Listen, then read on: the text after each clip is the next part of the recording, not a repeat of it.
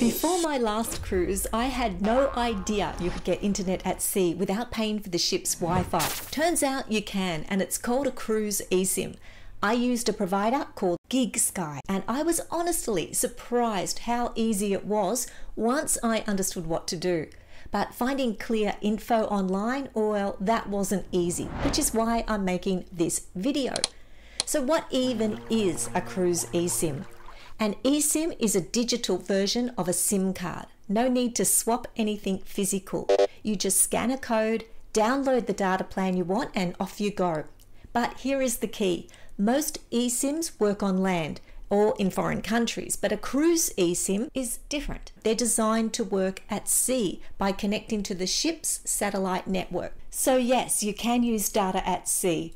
With SkyGig, I was able to check emails, message friends, and use Duolingo, and even scroll through Facebook and videos whilst cruising in the middle of the Pacific Ocean, all without paying $30 a day for the ship's Wi Fi. But it isn't perfect, and there are some things to know. When your ship first leaves port, you'll be in this blackout zone. There's no signal until you're about 14 nautical miles out to sea. So, to be clear, it works in port and it works out at sea, but in between the two, you will not have reception.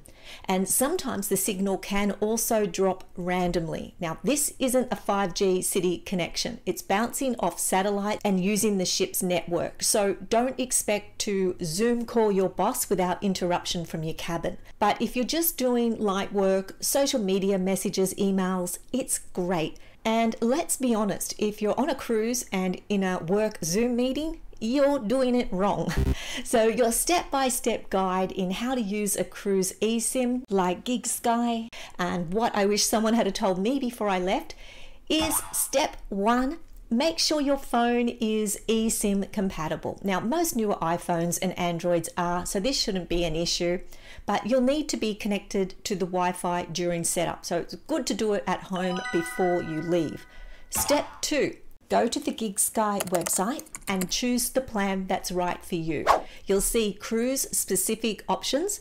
Uh, pick your cruise line or your region, and you'll see plans are usually based on days or data limit. So make sure you're covered sufficiently for the time you'll be away. You can also download the GigSky app. Just go to the App Store on your phone, search GigSky, open it up and you'll see all the plans there as well and it will guide you through the activation process. I just find it easier personally to use the website, but it's your preference. Step three, you'll scan the QR code that they'll email you, and this will install your eSIM automatically onto your phone. Your phone will then have both your usual number, your primary number, and the new data profile. So, whilst it's good to have all this done before your cruise, maybe don't activate anything uh, until a day or two before sailing, unless you have enough days in your plan to cover your trip. You can also rename the eSIM if you want something clear, like Fiji Cruise, or you can just leave it as it is. If you want to rename it, you can do this by going to Settings, Mobile Service, tap the new eSIM and then just rename it to whatever you like. But leave it off for now. You'll turn it on when you board. So make sure you're familiar with all of this before your cruise, and then when you are on board, here is the next part to get you all eSIM ready. So now you're boarding. Let's go to opening your phone settings. Tap the settings icon on your home screen, then tap mobile services or cellular on some phones, and you'll see there both your SIMs are listed. You'll have your primary SIM, your usual number, and your cruise eSIM. So GigSky or whatever you've named it. Now you'll turn off your Aussie SIM or your primary SIM. So to do this, tap the primary SIM and then toggle this to off and this stops your phone from connecting to roaming towers. And this is what's going to save you from those surprise bills. So make sure that's off. Then turn on your cruise eSIM. Tap your cruise eSIM, then toggle turn on this line so you get your eSIM working. Then scroll down under the eSIM plan and turn on data roaming. Yes, it's okay to turn roaming on here. It has to be on so it can connect to the ship's network. You will not be charged extra because GigSky or whatever you're using has prepaid data. You've already paid for it. So you're just allowing the eSIM to access that. And the last step here is set your eSIM as your new data source.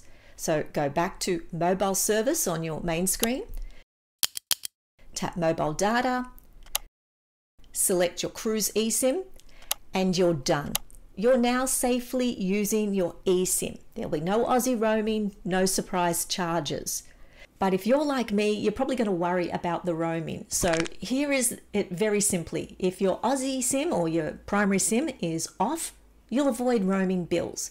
But your cruise eSIM needs to be on so that it works at sea. It's prepaid, you won't be charged more. Roaming must be on for the cruise eSIM to work, but it's not dangerous when you're using a prepaid eSIM like GigSky. It's like unlocking the gate to your prepaid data. You're in control and there's no meter running here. So here's my final thoughts.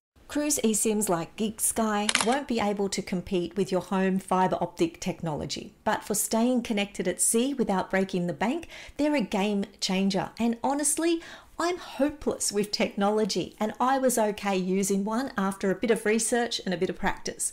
So I hope this video helps you.